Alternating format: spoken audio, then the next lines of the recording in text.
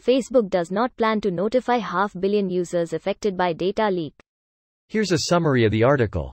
N. Greater than Reuters, Facebook Inc. did not notify the more than 530 million users whose details were obtained through the misuse of a feature before 2019 and recently made public in a database, and does not currently have plans to do so, a company spokesman said on Wednesday. Facebook said in a blog post on Tuesday that malicious actors had obtained the data prior to September 2019 by scraping profiles using a vulnerability in the platform's tool for syncing contacts. The Facebook spokesman said the social media company was not confident it had full visibility on which users would need to be notified. He said it also took into account that users could not fix the issue and that the data was publicly available in deciding not to notify users.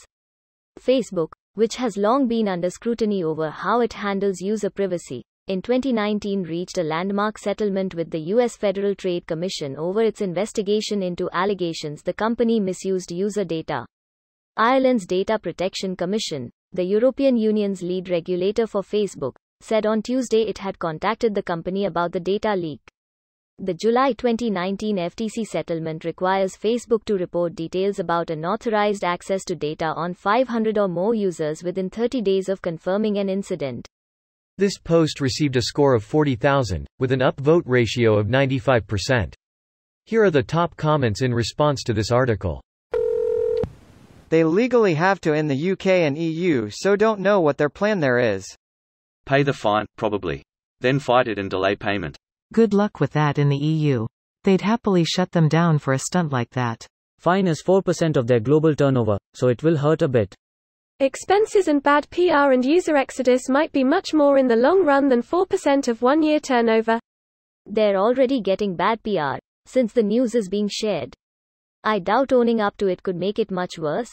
They did own up to it, they're just like, nah, no thanks, to telling the individual people whose data was affected. Because nobody reads the news. But people will read 500 meters individual emails. The people who use Facebook regularly definitely don't read the news. Most of us don't read period. You can check if your number has been leaked at. Damn Neopets. Only thing I was affected by thankfully LMAO. Edit. My account turns 21 years in 4 months. JFC I'll be able to buy it a beer soon. Haha that site is awesome they have leaked passwords too. Go type in some and see how many people have used terrible passwords Mustang? My mom made my first password for me and it was just terrible ha ha ha.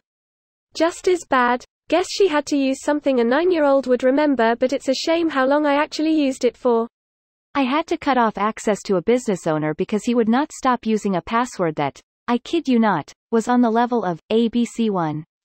Took balls to do that, but we were setting up a civilian contract with the U.S. Air Force and they happened to check shit like this. I used to do IT work in the Army. I literally had a major tell me his password, without me asking, because I was working on his computer. It was something along the line of password 123. You will love this. In 2015 the head of the Greek Secret Service was caught using a yellow post-it with the following password username, Minister password, 123456 to make things even more fun, that was stuck on his monitor, which was visible on a picture taken for the government website. It was sitting there two years before someone noticed. Heard about it in a security training and was like no way, that must be fake. Checked out it and it turned out to be true. You can still find the picture online. Good old security by obscurity. Isn't that like super fucking illegal in Europe? Yeah, curious about this. It says my stuff's been PWNED four times, and I'm an EU citizen. Pretty sure I read the EU has a law that's supposed to fine companies quite heavily for shit like this? This video was automatically created by Reddit to speech. The article and comments in this video were selected from Reddit according to their upvotes, and any paraphrasing was performed by smmry.com, without any human intervention.